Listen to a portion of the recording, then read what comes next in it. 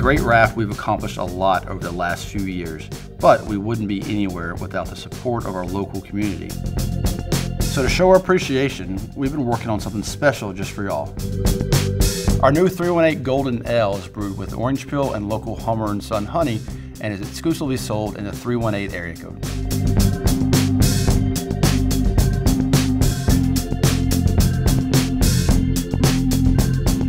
Three one eight Golden Ale now available.